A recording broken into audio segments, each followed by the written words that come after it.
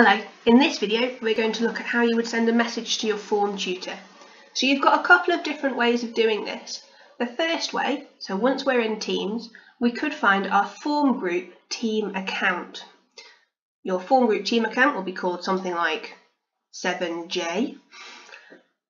You click on the group, if this is your form class, if it's something that you're okay with everybody seeing or a question you think other people might have, we can just post that in our discussion class um, place.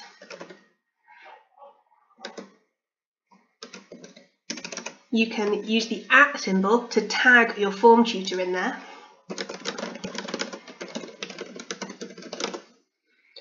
Um,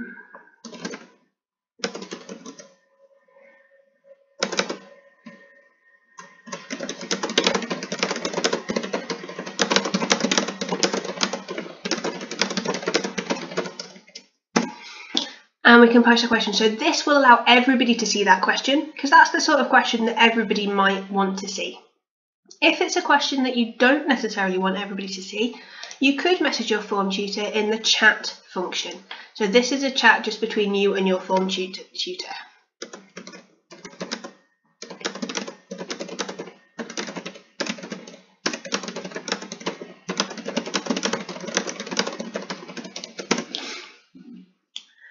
You could, of course, also go back to the Office portal that we looked at before, and you could send your form tutor an email instead if you'd prefer. So you've got three different ways to get in touch with your form tutor.